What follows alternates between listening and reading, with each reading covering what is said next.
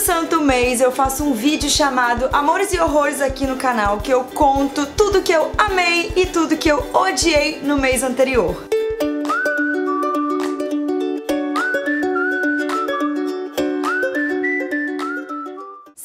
É novo por aqui, seja muito bem-vindo ao meu canal. Eu sou a Letícia Secato. Se inscreve aqui, curte esse vídeo, comenta e compartilhe para seus amigos, para suas amigas, porque é muito importante para a gente crescer no canal e estamos tentando bater a meta dos 200 mil. Então, por favor, por favor, para tudo nesse momento e se inscreve aqui. Pode se inscrever agora que eu tô esperando você fazer isso. Aproveita e vai lá pro Instagram também pra gente fazer vídeo ao vivo. Tô pensando em fazer um hoje, inclusive, tá? Entra lá no meu Instagram que é arroba Letícia Secato e a gente vai conversar horrores.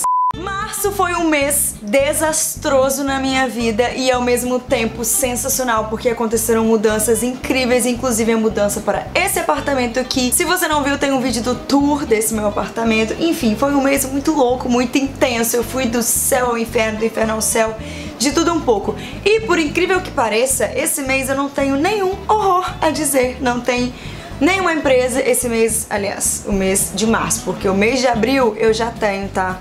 Fica essa dica que mês que vem vocês vão saber. Quem me acompanha no Instagram já sabe uma empresa que eu tô por aqui. Enfim, como março não tivemos horrores concretos, né? Porque problemas tivemos, pois somos seres humanos. Eu só vou falar de amores. Olha que coisa mais linda. Existem alguns produtos que eu ainda tô testando que não consegui ter uma experiência assim muito concreta para dizer se é boa, se é ruim, então agra agradem. Agradem as cenas dos próximos capítulos de Amores e Rumores. Hoje tá difícil. Primeiro produto que vamos falar é o que? Nada mais nada menos que Lágrimas de Unicórnio. Gente, vamos começar por esse nome, né? Lágrimas de Unicórnio. Conseguimos perceber que é um nome 100% comercial, porque geração Tumblr ama unicórnio mesmo que ele não exista. Então, Lágrimas de unicórnio, quando eu coloquei lá no Instagram que eu tinha comprado, nada mais é do que um primer, que pra quem não sabe o primer é uma coisa que você passa antes da maquiagem para que os poros fiquem fechadinhos, a pele mais sedosa e aí sim ela receber a base. Esse aqui é o Lágrimas de Unicórnio. É, o que, que, eu tenho a dizer? Tenho a dizer que minha unha está muito zoada, então eu nem vou fazer esforço para focar, porque eu tive uma alergia ao gel. E aí, cara, minha unha tá bizarra, eu tenho que deixar ela assim, sendo feliz e livre. Por isso hoje o foco do vídeo será desfocado nos produtos. Mas isso aqui é lágrima de unicórnio, eu paguei 30 e alguma coisa, 33, 32, 31. E se eu gostei ou não, parece que eu usei pouco, tá vendo? Mas eu usei muito porque você dá três pinguinhos e isso espalha virado no girai. Ah, o que que rola? Cara, isso é muito interessante. Muito interessante porque eu não sou muito de usar primer, porque eu nunca sinto que o primer faz diferença. Mas essa lágrima de unicórnio, é, eu não sei onde eles acharam o unicórnio chorando, mas funcionou super porque eu senti que a minha pele fica... Eu sinto, né? Não só senti, mas eu sinto que a minha pele fica bastante hidratada, recebe a base, parece que a maquiagem ela fica mais iluminada, porque aqui tem uma purpurina aqui no fundo, vocês estão vendo? Daí você balança e ele é em formato de conta-gotas, ó. E aí você pinga na sua pele, cara, eu gostei bastante. Tem que ter muito cuidado quem tem pele oleosa. Por quê? Se você passa essa lágrima de unicórnio de manhã, quando chega à noite, aqui na zona T, fica mais brilhosinho. Eu tô usando agora, ó, lágrima de unicórnio. Fica mais brilhosinho. Isso não me incomoda porque em mim ficou pouco. Então ficou até mais iluminado, assim. Mas eu acho que se você tiver... É Pele oleosa, talvez você se irrite um pouquinho. Então, lágrimas de unicórnio com certeza foi um amor. E, gente, tem um cheirinho muito bom de doce, sério. Não sei que fragrância eles colocaram aqui e nem se isso é saudável pra nossa pele, né? Mas o cheiro é muito bom. Um outro produto que eu amei no mês de março foi o produto da Adicus, que é a vitamina C complexa... Com... Vitamina C concentrado Derma Complex Adicus. Eu fui num evento da Adicus é... e aí eu não resisti. Eles apresentaram os produtos e eu comprei essa vitamina C. Ela ajuda, ó, a reduzir as rugas e linhas de expressão, é antioxidante, antipoluição, uniformiza o tom da pele, oil free, sem perfume, hipoalergênico, não comedogênico, nem sei o que é isso. Junto com esse produto, eu também comprei um de olheiras, porque eu tenho muitas olheiras, daí as meninas lá da Áticos me recomendaram o produto de olheiras junto com esse pra pele. Esse pra pele eu consigo sentir o resultado assim, sinistramente. Nos primeiros dias eu não senti, mas hoje eu sinto muito. Eu acordo, gente, com cara de rica, sério. Eu passo antes de dormir, às vezes eu passo antes da, da maquiagem também, mas eu prefiro lágrimas de unicórnio porque é mais barato, não é mesmo? É, durante o dia, mas antes de dormir eu passo sempre e eu acordo sim com uma pele mais bonita, me sinto mais jovem, me sinto me sinto bem, parece que a minha pele tá sedosa, então esse produto foi sensacional e foi muito caro, porque produtos bons e de pele para efeito a longo prazo são caros, ok? Essa lágrima de unicórnio é um primer, ou seja, só pra você ter aquele efeito momentâneo, né, na hora, sim. Mas isso aqui não, isso é um produto pra vida, tá, gente? Então eu amei muito. O da olheira eu preciso testar mais porque eu ainda não senti resultado, tá? Mas depois que eu testar direitinho, eu conto pra vocês se é um amor, se é um horror ou se não é nenhum dos dois. Eu já tenho 26 anos nas costas, eu sei que parece que não. Por favor, comentem aqui falando que não parece. Desde os 20 e quatro, que eu venho sentindo a necessidade de começar a cuidar da minha pele. Eu passo cremes e tudo mais. Minha mãe sempre foi uma mãe que passa cremes, então me inspiro muito nela. Beijo, mãe!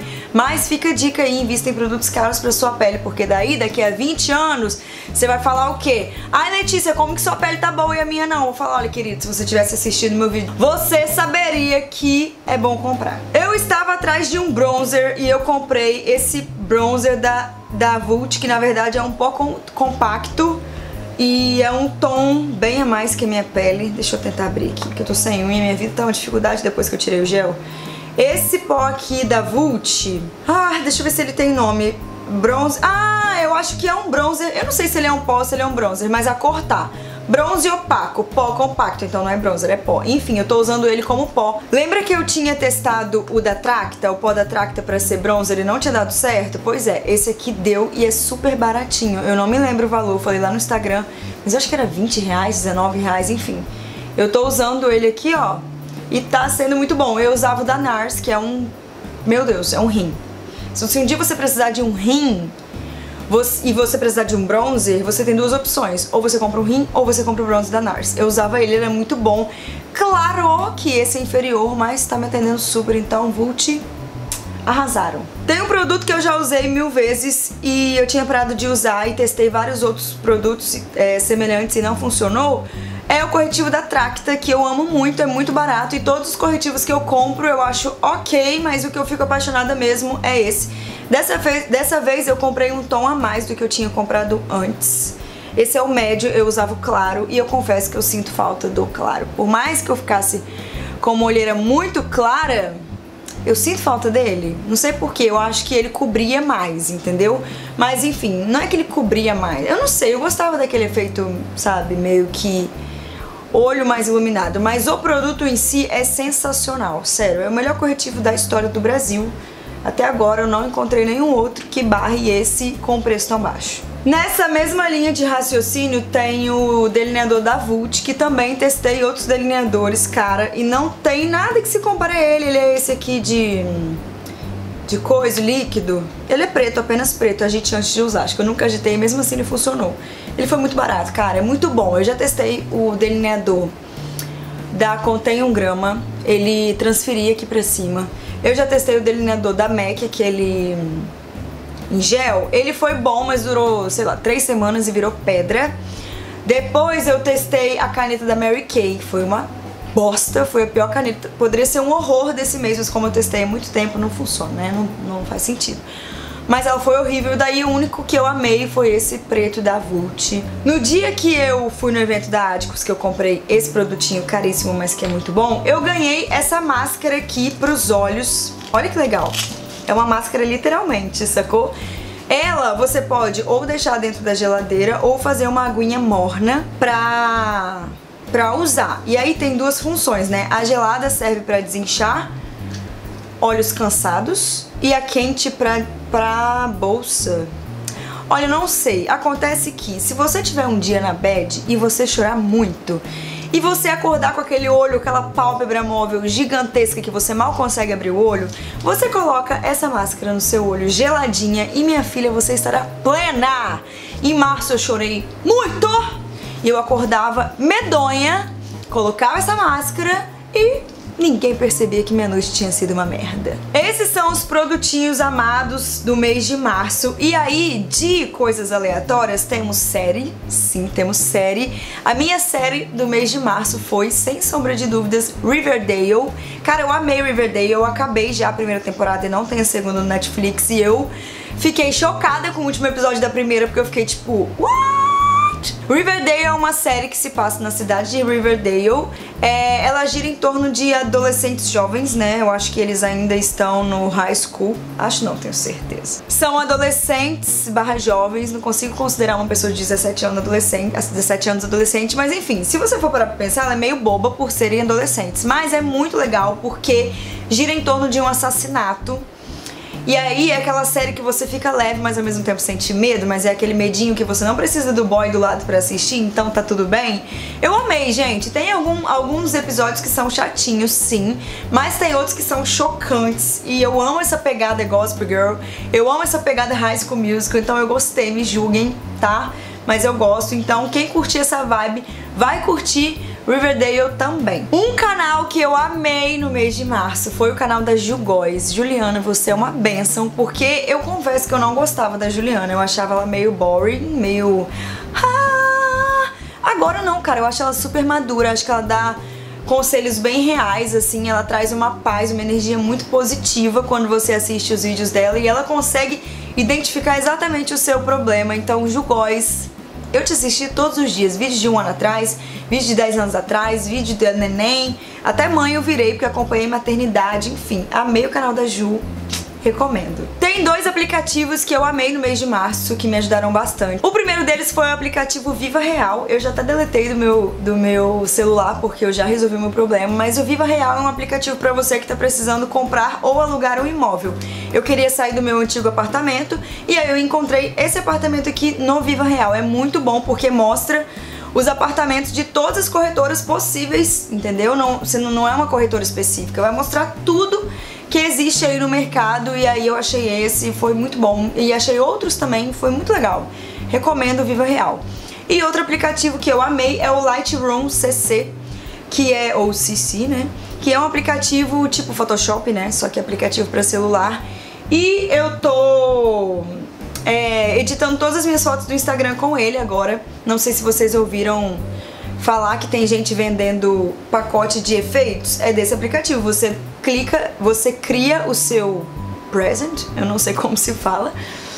E daí você pode vender, eu não sei como se vende. Mas enfim, no lugar de você comprar, você pode criar. Eu criei, amei. E aí eu tô editando todas as fotos do meu Instagram com ele. Todas essas últimas fotos aqui, ó, que elas estão com uma pegada mais... Tipo, deixa eu abrir essa, por exemplo. Ó, essa foto aqui, não sei se vai focar não. É, eu editei com o Lightroom e eu tô amando Lightroom. E é isso, meninas. Muito obrigada pela atenção. Deixem aqui nos comentários o que é que vocês querem que eu teste. Quem sabe o seu produto aparece no próximo Amores e Horrores de abril, né? Porque já estamos em abril e eu já estou testando coisas novas. Um beijo